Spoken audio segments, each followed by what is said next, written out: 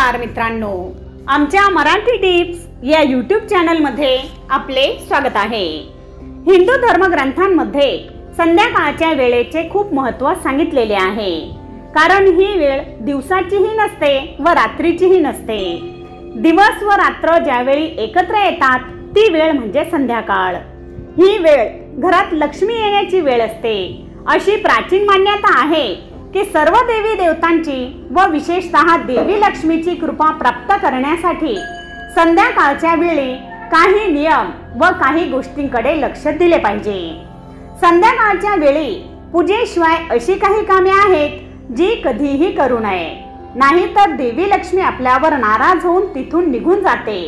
आणि जर देवी लक्ष्मी नाराज झाली तर राजालाही भिकारी बनायला वेळ लागत नाही. या व्हिडिओमध्ये मी तुम्हाला अशा काही गोष्टी सांगणार आहे ज्या संध्याकाळी अजिबात करू नये. संध्याकाळच्या वेळी झाडू मारू नये. संध्याकाळची वेळ ही देवी लक्ष्मीच्या आगमनाची वेळ असते. प्राचीन काळापासून अशी मान्यता आहे की संध्याकाळच्या वेळी झाडू मारू नये. जर संध्याकाळच्या वेळी आपण घरात झाडझूड केली तर आपल्या घरात लक्ष्मी प्रवेश करीत नाही आणि घरात दारिद्र्य येते.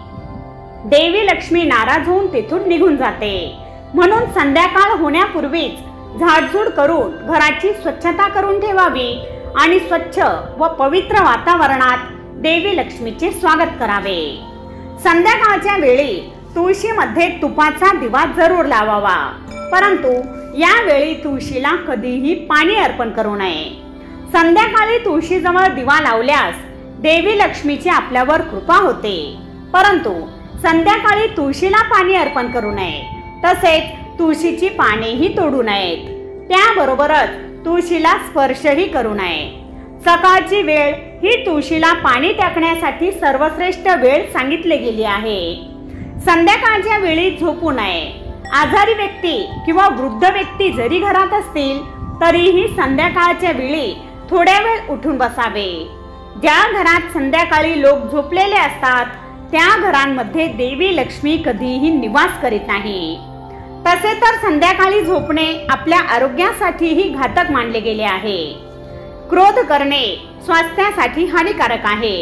क्रोधामुळे घरातले वातावरण अशांत होते आणि नकारात्मकता वाढते. असे मानले जाते की संध्याकाळच्या वेळी देवी लक्ष्मी पृथ्वीवर भ्रमण करीत असते आणि ज्या घरात भांडण तंटे वादविवाद आणि अशांतता असते अशा ठिकाणी देवी लक्ष्मी प्रवेश करीत नाही. यामुळे जीवनात कधीही क्रोध करू नये आणि संध्याकाळच्या वेळी तर अजिबात क्रोध करू नये. संध्याकाळच्या वेळी पती पत्नीने संबंध करू नये.